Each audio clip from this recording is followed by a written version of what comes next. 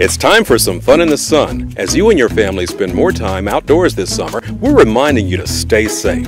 Planning a project for your home? When working outdoors, you may be using ladders, power tools, shovels, or even paintbrushes with extendable arms.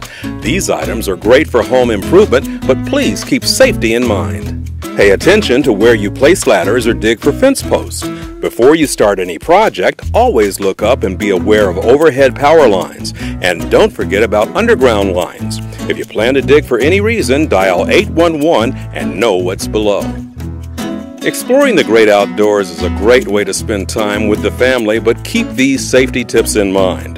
Kids should never climb trees near power lines. Always assume they are live and dangerous. Fly kites and remote control airplanes in large open areas like a park or a field, safely away from trees and overhead power lines. Planning to take a dip in the pool? Remember, electrical devices should be kept at least 10 feet away from water sources. Outdoor receptacles should be covered, and never swim when you hear thunder nearby. Speaking of thunder, summer storms can be dangerous if you're caught in the wrong place at the wrong time. If you find yourself outdoors during a storm, move toward a suitable shelter with covered sides and stick to low lying ground if possible. So remember, when you're spending time outdoors this summer with your family, have some fun and keep safety in mind.